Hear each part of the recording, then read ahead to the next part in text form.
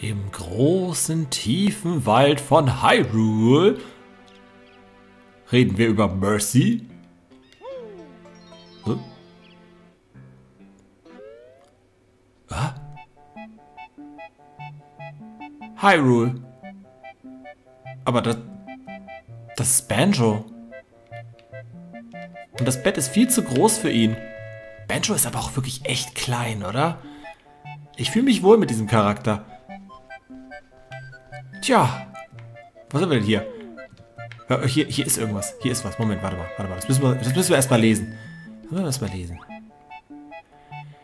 Attention, Foolish Bear. Auch wenn ich rieche und ein bisschen plump bin. Äh. Okay. Nenn mich Königin, du Dummkopf. Und ja, genau. Jetzt kontrolliere ich Hyrule. Also wenn du es wagst, mich herauszufordern, äh...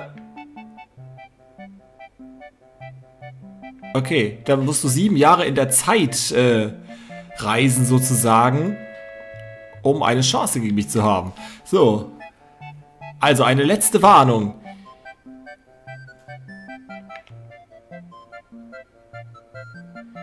Eine letzte Warnung gebe ich dir. Äh, ja, geh zurück in deine Heimat, wenn du leben willst. Lots of hate. Grunty.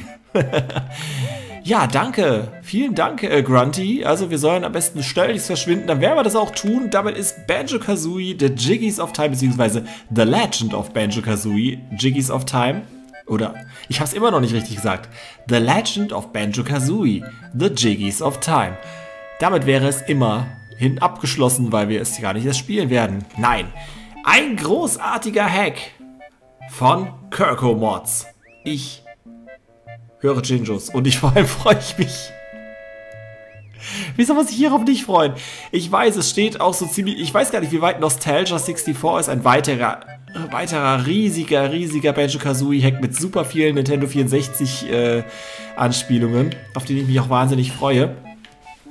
Ich weiß nicht, wie weit der ist, aber wir spielen auf jeden Fall Jiggies of Time, weil das ist definitiv, glaube ich, eines der großartigsten Hacks eines Nintendo 64 Spiels jemals, von dem, was ich so gehört habe. Für mich ist das Ganze trotz allem sehr, sehr blind.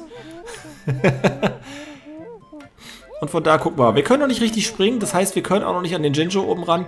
Können wir das hier mitnehmen? Können wir natürlich nicht. Link hat einfach seine Sachen hier gelassen. Guck sich das einer an. Also es wird ein sehr, sehr langes Projekt. Dieses Jahr werden wir damit nicht mehr fertig, das ist vollkommen klar. Allein schon, weil ich mir so viel ansehen werde.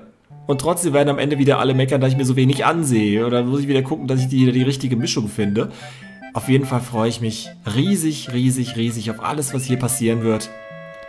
Und sage, willkommen, legen wir los im Kokiri-Wald.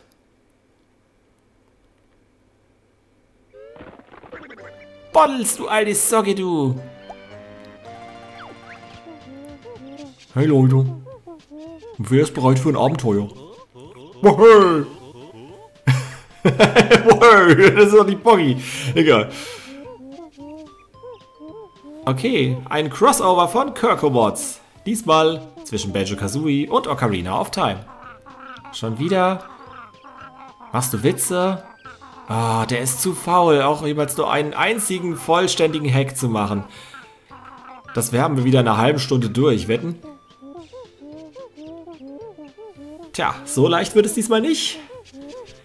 Denn Grunty hat alle Flure des Schlosses, nein, alle Floors of Hyrule verflucht. Nee, ja, es wird auf jeden Fall viel zu erkunden geben. Sonst der Quang. Ja, so, Songs like fangen. Habe ich irgendwie habe ich voll falsch gesagt. Egal. Okay, um zum Dekobaum zu kommen, müssen wir Eier schießen können. Eier, wir brauchen Eier, aber Bottles will uns das nicht einfach verraten hier. Wir müssen erst in die Lost Woods, in die verlorene Wälder und dort lernen, wie es geht. Hört sich wie ein Plan an. Mit anderen Worten, wir werden hier nicht sofort mit all unseren äh, Moves ausgestattet, wie das auch bei vielen Hacks normalerweise der Fall ist von Banjo-Kazooie. Nein, hier müssen wir uns alles verdienen. Und trotz allem machen wir die ganze Chose durch. Ich lasse mich hier durchleiten, ist vielleicht doch besser so. Ich würde sagen, wir lass uns anleiten. Wir wollen etwas Hilfe, wenn es dir nichts ausmacht, Bottles. Okay. Also dann, schaut nach dem nächsten Maulwurfshügel. Dort bekommt ihr weitere Instruktionen. Woohoo! If you need instructions on how to get through the Kokiri Forest, check out the enclosed molehill. Ach, Noten, Noten, Noten. Warum will ich ja nicht am Anfang alle sammeln? Ich wette, ich komme hier sowieso nicht durch. Also äh, am Anfang mit, mit meinem jetzigen Moveset. Aber egal. Man kann nie genug haben. Was man an Noten findet, sollte man auch mitnehmen. Das sieht, das sieht sehr spinnig aus.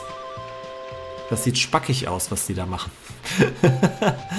ja, das ist... Äh, wir springen ein bisschen kurz, ne? Das müssen wir noch ändern. Wir können auch sonst noch nicht viel machen. Wir sind momentan noch nicht wehrhaft, wie also wirklich im originalen Banjo-Kazooie. Machen wir erst das Tutorial, lernen alle Moves und schauen, was hier so alles dann entsteht. Das ist natürlich auch versperrt. Ah, guckt euch das an, wie toll das aussieht. Es ist wirklich, das ist wirklich Kokiri Forest im Banjo-Kazooie-Stil. Und da hinten sind die verlorenen Wälder, das steht sogar dran. Das ist doch, ist doch, ist doch wunderbar. Ist das nicht wunderbar? Die alten Schriften stimmen. Der Rehawk ist am Spinnen. Squadala! Squadala, sage ich dazu nur. Und dann, ja, geht's weiter hier. Das Schlimme ist, suche jetzt schon ewig den ersten Maulwurfshügel. Das habt ihr kommen sehen, ich weiß. Und dennoch seid ihr hier. Alle zwölf. Und ich will nicht darüber meckern. Zwölf sind in heutigen Tagen gar nicht mal so wenig. Okay, so. Das sind immerhin zwölf Leute, die ihre Lebenszeit verschwenden, um sich diesen Kanal anzusehen. Das muss man ja auch mal so sehen. Die meisten 17 von den 17.000, die, die äh, diesen Kanal abonniert haben, waren so schlau und sind mittlerweile woanders. Nein, Quatsch. So, komm. Ähm. Was machen wir denn jetzt? Geh mal heim.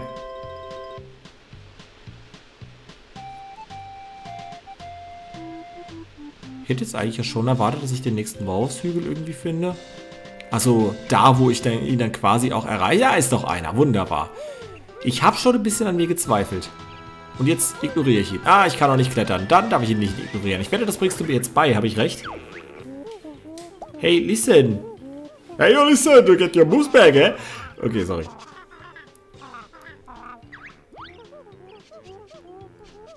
Alles klar.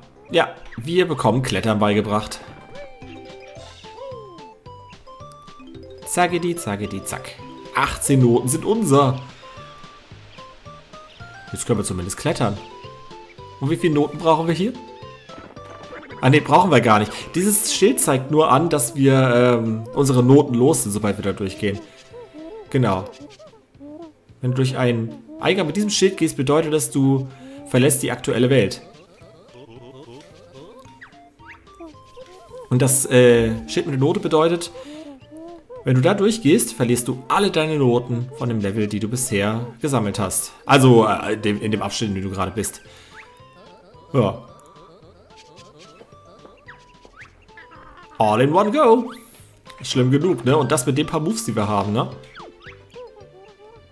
Remember Designs. Ja, mir wäre es lieber gewesen, du hättest mir noch einen neuen Move beigebracht. Klettern ist aber schon mal trotzdem nicht schlecht. Klettern ist ja mitunter durchaus was Feines. Ich habe es irgendwie befürchtet, dass das nicht ganz reicht. Er ist nicht der allerbeste Springer, er ist halt echt nicht Jumpman.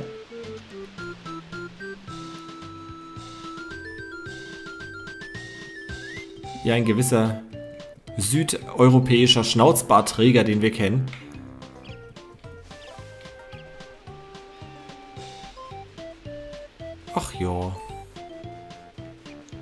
Tja, nu. Machen wir jetzt. Vielleicht ist ja hier noch ein Bottles. Bottles, Bottles, Bottles, Bottles, Bottles, Bottles. Er hätte ja ruhig hier unten direkt sein können, oder? Hier, hier ist eine Rampe. Wir werden zu der richtigen Rampensau. Oh, guck mal. Jinjo, bringt mir nichts. Scheiße. Aber trotzdem schön, dass du da bist. Unser erster Jinjo.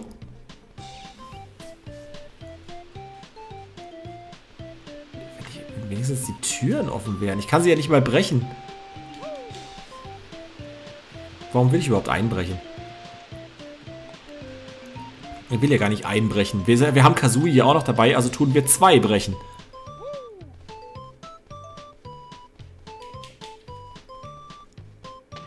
Ja, den habe ich jetzt erstmal sacken lassen.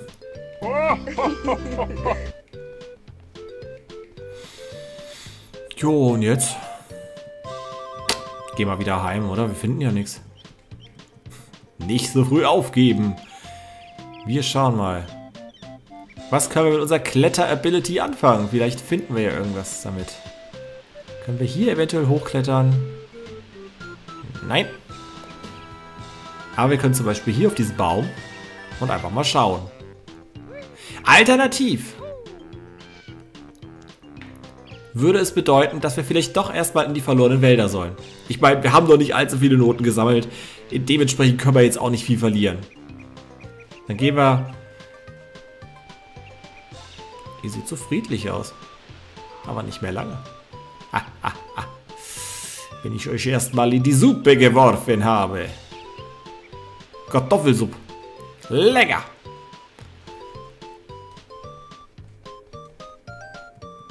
Da finde ich sonst noch irgendwas. Wenn ich so von oben drauf mal gucke. Da haben wir noch ein Jinjo.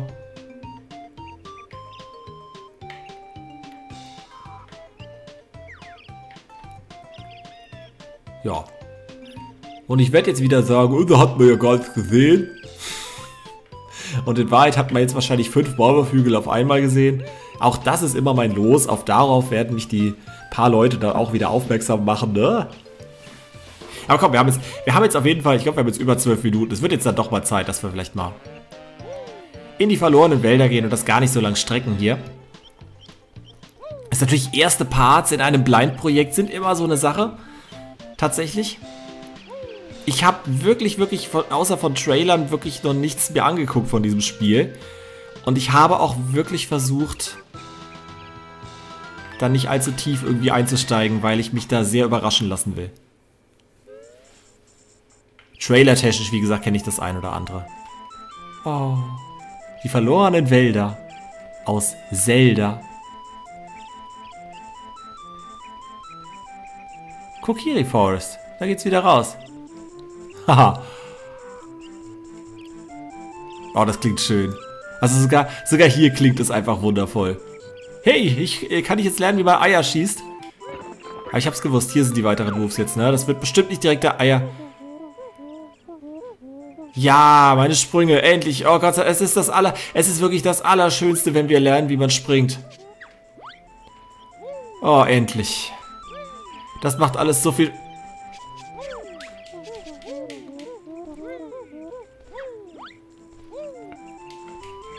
Äh. Äh. Ich hab ein Problem. Ich hab ein Problem. Oh, ein Zelda-Zeichen. Ich hab ein Problem. Nein. So, gut.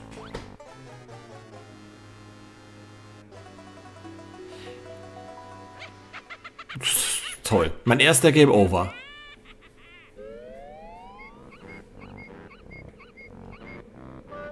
Ich glaube... Grunty? Ich wollte eben schon sagen, verschone ich euch jetzt mal mit. Oh, das ist ja geil.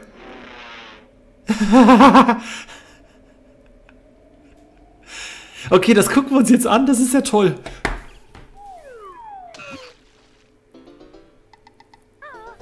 Oh, ist das toll. Das habe ich doch gar nicht gesehen.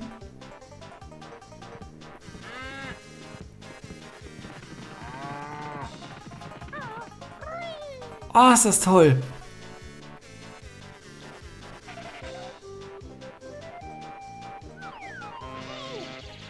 Zelda... Habt ihr das im Fenster gesehen? Hat Zelda aus dem Fenster geguckt.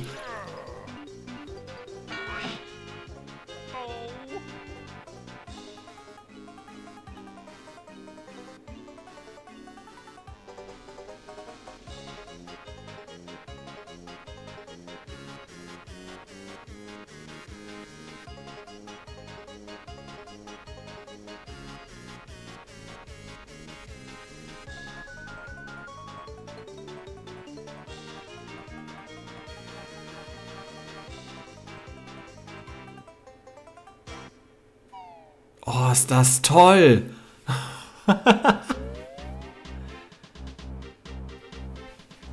oh, ich glaube... Nein. Nein, nein, nein, nein. wenn wir jetzt hier, wenn wir jetzt hier drin bleiben, dann...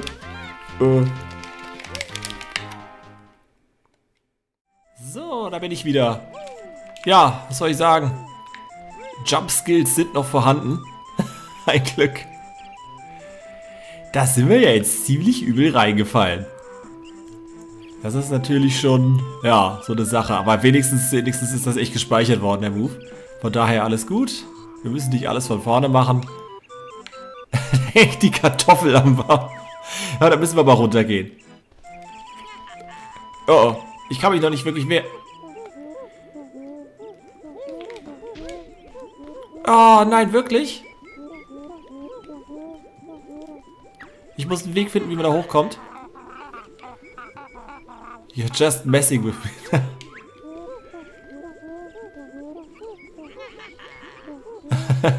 Pass auf, wie du mich nennst, oder ich äh, verschiebe doch weiter nach oben. Ja, das wollen wir natürlich nicht. Also wir müssen jetzt erstmal die grüne Platte finden. Ah, der Wund ist das nicht wunderbar? So, da haben wir schon den nächsten Mauerzügel. Ah, cool. Sehr gut, wir können schon mal die ersten äh, Kisten und so aufbrechen.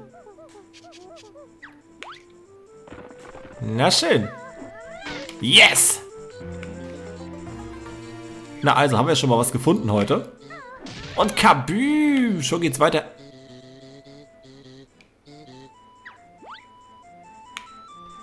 Huh, hey, cool, ich kann zurück. Und das ist der nächste Mauerzügel. Mal gucken. Hey, sehr schön. Und tauchen können wir auch noch hier. Hört sich schwer an. Ja, genau. Mein Fell wird nass, alles. Äh die Bärenmigräne kommt wieder hoch, ne? Das ist normal.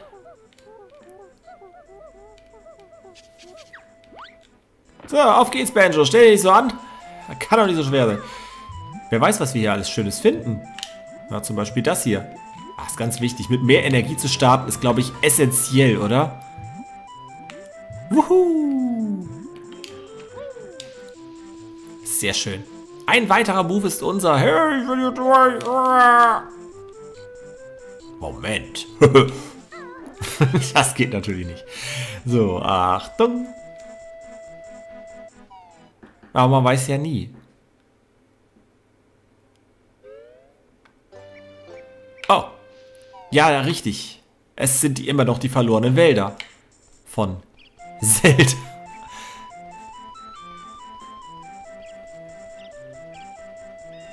Tüdelü, tüdelü, tüdelü, tüdelü.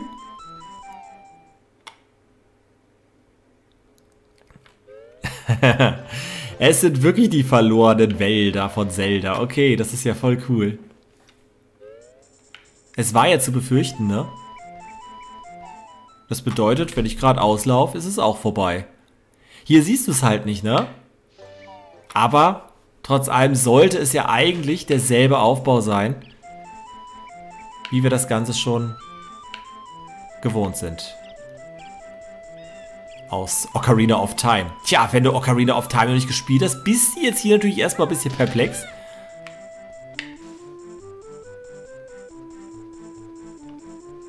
Hier ist zu. Und hier dürft ihr eigentlich rausgehen, genau. Genau. Okay. Dann haben wir das auch geklärt. Zumindest bin ich jetzt durch diese Attacke mal ein bisschen wehrhaft, oder? Das ist ja schon mal, schon mal eigentlich ganz gut.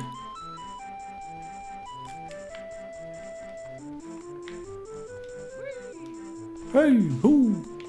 Nochmal kaputt brechen. Ha! Wer weiß, was man dafür kriegt, ne? So, da bin ich wieder. Sorry. Ähm...